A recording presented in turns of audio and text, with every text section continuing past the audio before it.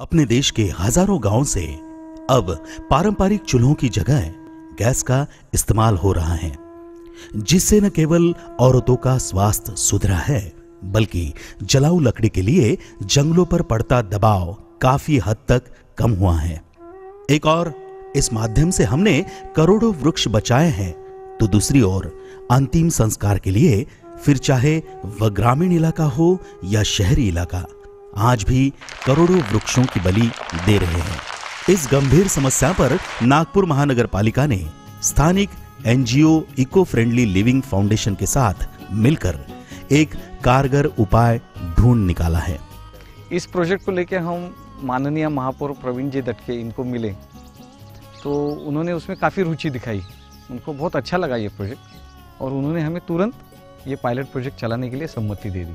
अंतिम संस्कार के लिए लकड़ी के बजाय, जिसे किसान आमतौर पर अनुपयोगी समझकर जला देते हैं, ऐसे एग्रीकल्चर वेस्ट से बने बायोमास ब्रिकेट्स का इस्तेमाल किया जाता है, जिसे इस एनजीओ ने मोक्ष कास्ट ये समर्पक नाम दिया है।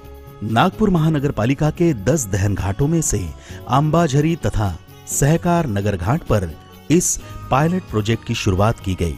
आज कई बड़े कारखानों में कोयले की जगह इन ब्रिकेट्स का ही इस्तेमाल हो रहा है। इस इंडस्ट्री के कारण एक और किसानों को आय का एक नया स्रोत प्राप्त हुआ है। तो दूसरी ओर ग्रामीण इलाकों में हज़ारों युवाओं को रोज़गार मिला है। बायोमास ब्रिकेट ये जो कंसेप्ट है, ये एग्रो वेस्ट मटेरियल से बनता है। इसमें खास करके सोयाबीन वेस्ट इसमें कॉटन स्टॉक सॉडस्ट और बगास यूज़ होता है। ये कोल का सब्स्टिट्यूट है। इसे बॉयलर में ईंधन के रूप में जलाया जाता है। हमारे देश में हर साल लाखों टन एग्रोवेस्ट जनरेट होता है। ये एग्रोवेस्ट से अगर हम ब्रिकेट बनाते हैं तो इससे किसानों को फ़ायदा मिलेगा और पर्यावरण का जो समतोल है उसको अपन कायम रख सकते हैं। बायोमास ब्रिकेट्स के कई फ़ायदे हैं। एक शव को जलाने के लिए 300 किलोग्राम लकड़ी लगती है। उसके हिसाब से बायोमास ब्रिकेट्स सिर्फ़ 250 किलोग्राम लगती है। उसका मूल कारण यह है कि लकड़ी की अपेक्षा बायोमास ब्रिकेट की जो कैलोरीफिक वैल्यू होती है वो ज़्यादा होती है। और एक बात जो ब्रिकेट्स को लकड़ी से बेहतर साबित करती है वो है नमी। जहाँ सूखी लकड़ी में भी लगभग 20 प्रतिशत नमी होती है वहीं ब्रिकेट्स में यह नमी केवल 3 से 5 प्रतिशत होती है। इतना ही नहीं लकड़ी और कोयले से प्रदूषण राख का प्रतिशत आदि अनेक मापदंडों पर की गई तुलना में ये ब्रिकेट्स श्रेष्ठ साबित हुए हैं। पूर्व नगरी के जितने शहरवासी हैं उनके उन्होंने इस उपक्रम में अच्छा साथ दिया है। ये भारत का पहला प्रयोग है। मुझे खुशी हो रही है कि अन्य शहरों ने भी इसका फ़ायदा उठाना शुरू किया है जैसे मुंबई हो यवतमाल हो अकोला हो। और इससे हम कई ज़्यादा वृक्षों का जतन कर पाएँगे।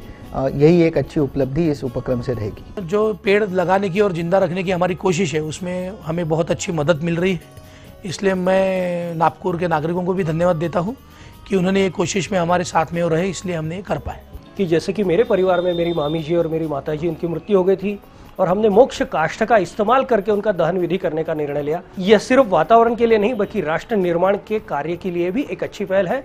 सभी से सभी से विनती है, मोक्ष काष्ठ का ज़रूर ज़रूर इस्तेमाल करें।